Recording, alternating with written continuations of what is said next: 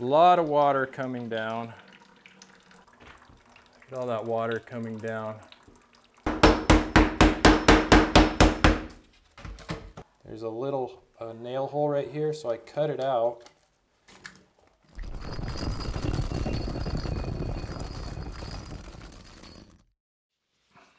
Hello and welcome to Tile Coach. I'm Isaac Ostrom and I've been getting a lot of calls and inquiries lately about flip house remodels. So homeowners that have bought a flip house that have been recently remodeled.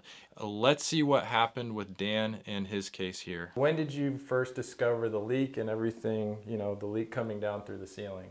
Yeah, so uh, when we closed on the house in May, uh, we couldn't actually move out here right away. We wanted to have um, our oldest kid uh, finish out the school year. So um, but even so, we were like too excited. Like, let's just come up here for the weekend. So uh, we came up here for that weekend, and we already did see some um, water accumulate um, in the kitchen, which is right below where we are here in the top floor bathroom. You know, between me taking a shower and um, uh, the kids uh, taking a bath in the tub there, uh, we did see some water pool up um, on the floor. At the beginning, we kind of thought, well, maybe you know our little one, you know, carrying sippy cups, maybe spilled a little bit mm-hmm. of water. Uh, but then when we actually came up and moved, that very first weekend that we were here after the move, uh, we saw water coming back down again, and so we got back in touch with uh, with our real realtor, and going from there, um, yeah, we, are still trying to figure out exactly what's going on with it. Uh, we've already had a GC come out to look at and a plumber. Um, the drain lines and the supply lines look fine to them.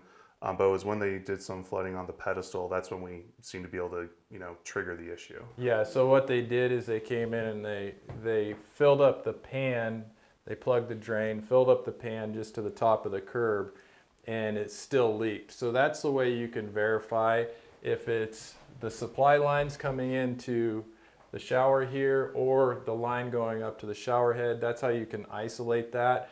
You basically have to plug the drain, fill it up, and if it's still leaking, then you know it's the pan. So basically when the plumbers come out, they want to make sure that it's not something in the supply lines. And um, the other thing, if it's a supply line drip, you would have constant mm-hmm. drip.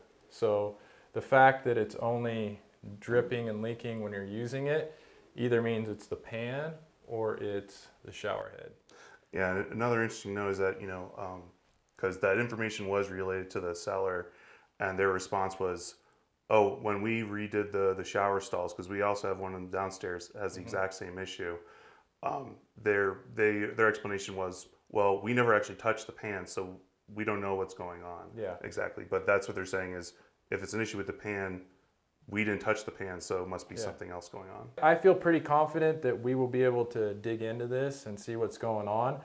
Uh, so first, what I would like to do is is fill it up and see if we can get the leak to start happening and then I can look from underneath and try to uh, pinpoint where it's coming from. All right, sounds good. Let's make it happen. Okay, cool.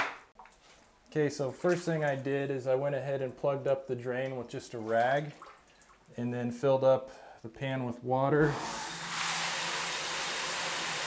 So I got a good amount of water in here. So let's run downstairs and see what's happening. So now the water's off, so we're isolating that any leak that's happening has to be coming from here and not a water supply. I got the drain plugged up. You see water's not moving through there. So let's go downstairs and see if we can find the leak. Okay. Here we go. Oh, there it is. Okay. Okay. It's actually probably better without the flashlight. Oh, really? Okay. Yeah. I wasn't sure. That's all right. Thank you. So yeah, so we have a lot of water coming down and it's coming from this hole right here. And let me see if I can get up here and get a good visual. Get all that water coming down. And so here is, that's the shower drain right there. There's the shower drain. So if it's coming from that hole, that's probably right on the plumbing wall. Okay. Okay, so you can clearly see that the water is coming down from the water supply line, the half inch copper. The hole that's drilled in the OSB is providing the avenue for the water to pour down. So it's hitting that OSB, finding the first penetration, which is that hole that's drilled for the plumbing line, and then pouring down, and then and then it's hitting the sheetrock lid and just going everywhere, including down into the bucket. Oh yeah, you can really see it coming down the window now. There we go. So yeah, you can see see it dripping down. That's actually the outside of the window. It's just streaming down from the outside. All right, guys, we got a lot of water. So let me go pull that rag up there so we don't fill up your bucket and flood the rest of your house.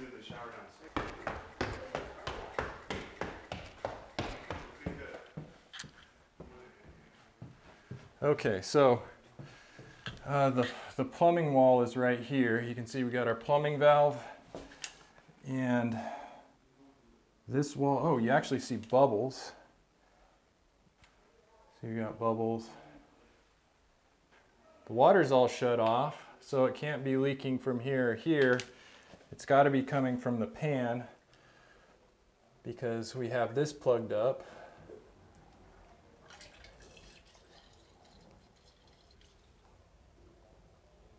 And wow, now the bubbles are really starting to pop up along that edge.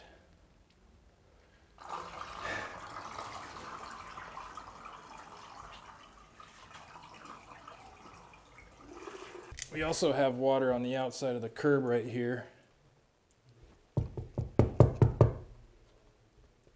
So we got water leaking right here on the curb. So yeah, the water is getting down to the OSB and then just saturating this whole thing, going down the outside of the window, going outside the curb, it's finding the hole in that supply line. That's where most of the water is coming through.